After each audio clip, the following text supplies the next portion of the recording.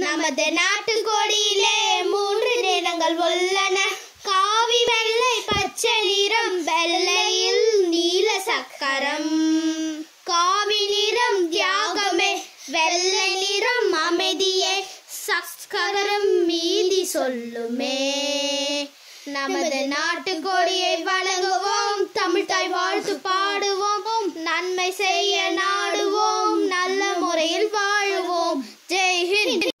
நமது நாடு இந்தியா நன்மைகள் நாடும் இந்தியா போரை வெறுக்கும் இந்தியா புகழ் நாடும் இந்தியா உலகம் போற்றும் இந்தியா உண்மை நாடும் இந்தியா இமயம் போல உயரவே எண்ணுகின்ற இந்தியா.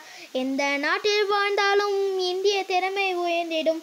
புத்தி நுட்பம் கொண்டவர் புகழ் காக்கும் இந்தியர். நூறு கோடி மக்களும் ஒற்றுமை காக்க வேண்டுமே. ஜாதி மத வேற்றுமை மாற்றி வாழ வேண்டுமே.